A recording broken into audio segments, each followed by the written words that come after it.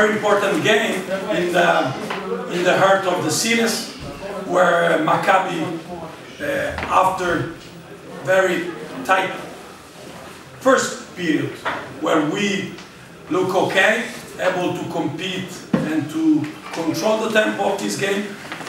Uh, I think after the first 10 minutes uh, they imposed their energy. They have a very, very good game, especially in defense, where we struggle to find the usual uh, ball move.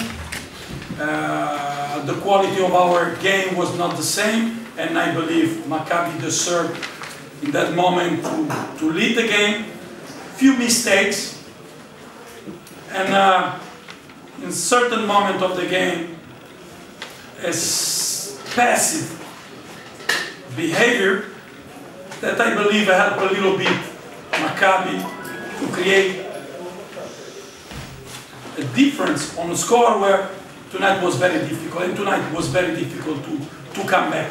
The quality of our basketball was not so continuous and the shooting percentage was not so good to believe to come back. Also, if I believe we played a good, a good defensive, a good defensive game for many minutes tonight. Anyway, it's game three.